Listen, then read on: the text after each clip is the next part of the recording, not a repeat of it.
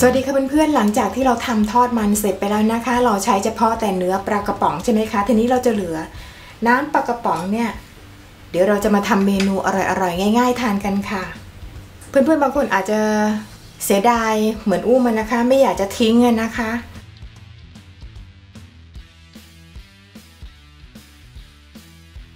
เพราะฉะนั้นเดี๋ยวอุ้มจะมาทำเมนูอร่อยๆ ง่าย ๆ ทานกันค่ะ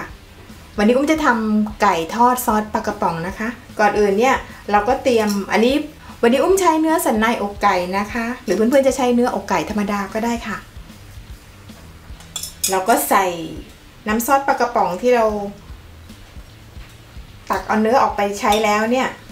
เหลือแต่น้ำซอสเนี่ยลงไปในหมักลงไปกับเนื้อไก่ของเรานะคะ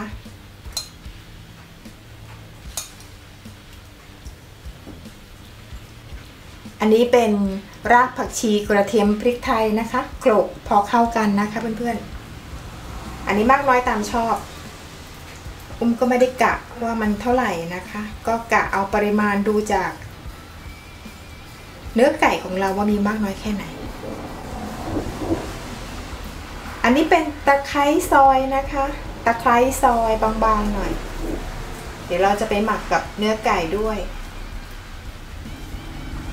แล้วก็ส่วนหนึ่งเนี่ยอุ้มเอาไปทอดกรอบรอไว้แล้วนะคะตะไคร้ซอยเนี่ย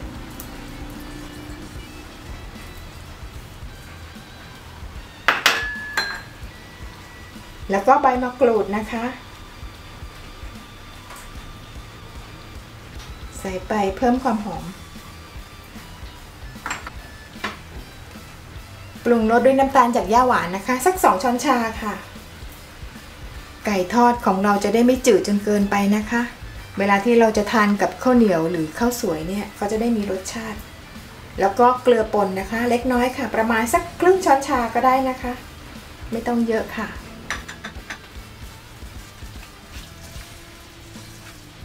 คลุกส่วนผสมทั้งหมดให้เข้ากันนะคะ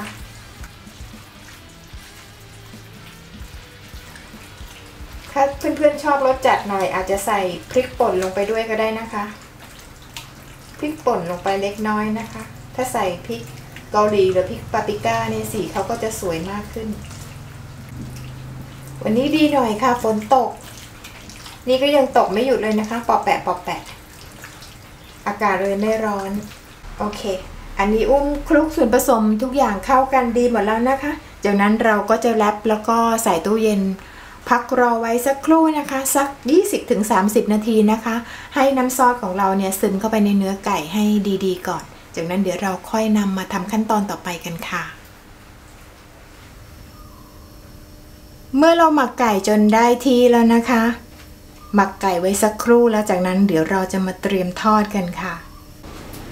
อันนี้เป็นแป้งทอดกรอบธรรมดานะคะ อุ้มผสมกับเกล็ดขนมปังป่นชนิดละเอียดนะคะ ก็ ผสมกันในอัตราส่วน ก็ผสมกันพอให้เข้ากันนะคะ ใช้เกล็ดขนมปังชนิดละเอียด ผสมลงไปในแป้งแบบนี้ เวลาเราทอดก็จะช่วยให้แป้งของเราเนี่ยกรอบฟูแล้วก็ดูน่ารับประทานขึ้นนะคะ จากนั้นเดี๋ยวเราก็มาเตรียมทอดกันเลยค่ะ พอน้ำมันของเราเริ่มร้อนนะคะ